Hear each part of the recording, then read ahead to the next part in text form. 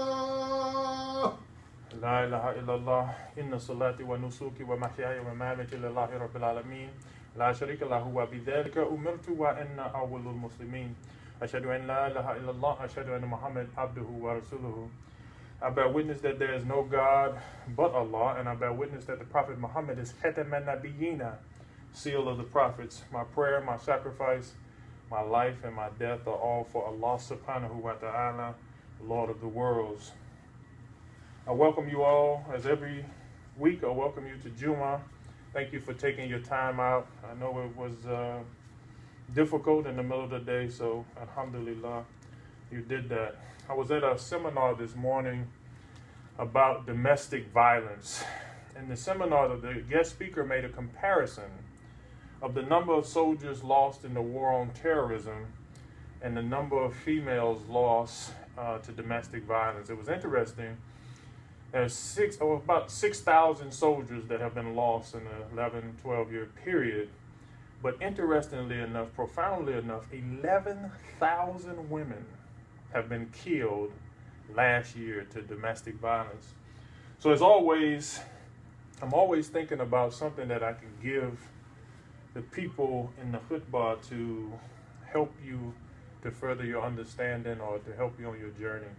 So my khutbah today is, as the Prophet Muhammad said, marriage is one half of faith. Marriage is one half of faith. The nikah in Islam is one of the most important acts of ibadah or worship. But isn't it amazing that we take more time choosing a college than choosing our mates? Isn't it amazing that we take more time looking at features on cars than we take choosing our mates? But in, this, in Islam, marriage is a little different from other cultures. Marriage in Islam is a business contract. I know that's going to put some of you off, but in Islam, if you read the Quran, it is a business contract. Islam says it's a covenant between the bride and a groom that contractually, before the wedding, the woman and the man can request what they want out of a mate. That's a contract. That's a business decision. This suggests that there has to be communication as juxtaposed to infatuation. I'm going to say that again. This supposes or, or, or, uh, really it means that you have to get into the other person's mind to understand who they are and what they want out of life as juxtaposed to just saying that they are good looking, they have a nice body, so on and so forth. Islam makes it contractual that both parties have to sit down and spell out what they want in their marriage.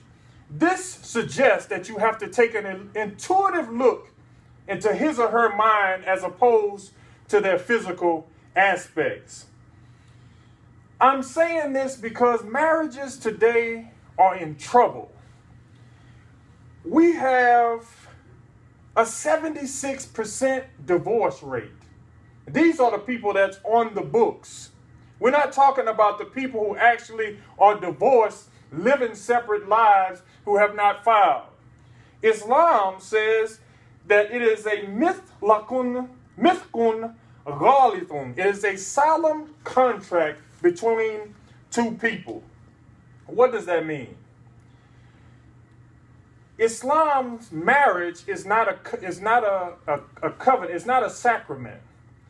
When we talk about sacramental things, we talk about things that are handed down from God.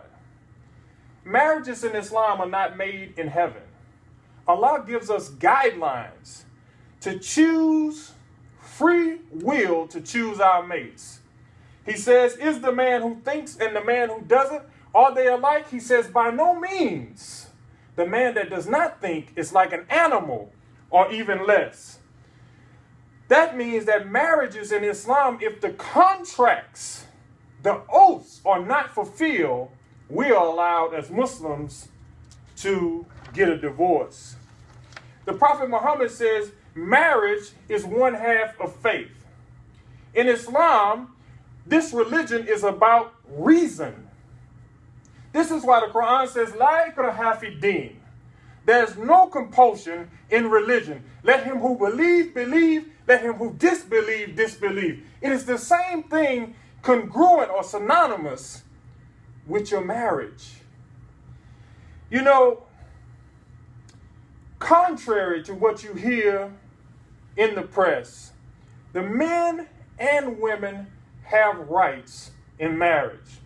Contrary from what you hear from some of your hardcore imams who are trying to make a political point, women and men have rights with their potential mates. If a woman feels strongly about education and her mate, potential mate, doesn't want her to be educated, that should be a demarcation or a line in the sand to not marry that type of man. If the woman feels strongly that she wants to work outside the house and the man that she's marrying doesn't want her to do that, that should be a demarcation or a line in the sand to say maybe this is not the person that I want to be married to. Consequently, on the other side, if the man finds a woman who he has or he wants to be a housewife, as opposed to being a person who is out there in this dunya or this world he has to make a choice to say maybe or maybe not for this woman to be in my life. So prior to that, to this thing that we call marriage, we should look at our potential mates like we look at everything else in our lives. We look at everything in our lives in detail, most of us, before we make decisions. Why not your mate? Allah says in the Quran, among his signs, we have created companions for you, mates from among yourselves, so that you may find tranquility in them, love and mercy. Then he says, surely these are signs for people who think. What is Allah saying here? How can you find tranquility in somebody you're not compatible with? How can you find tranquility with somebody that you haven't even exhausted an attempt to know who they are? You just saw their physical attributes and said, That's the woman or that's the man I want to marry. Allah says, Surely these are signs for people who think. It's amazing to me that we get married to people and we have no idea who they are. It's amazing to me that we wonder sometimes how children turn out to be certain ways yet we didn't vet the husband or the wife that we are marrying.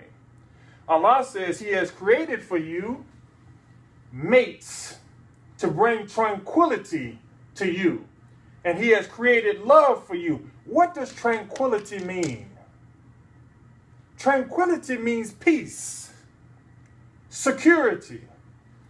It means that a person that you are involved with gives you the most happiness as opposed to other things in your life. It's amazing to me that people say, I have married my, my soulmate. What does that where does that come from? Your soulmate is a person that you find compatibility with. Your soulmate is a person that has similar interests with you. What do we do most of the time? We marry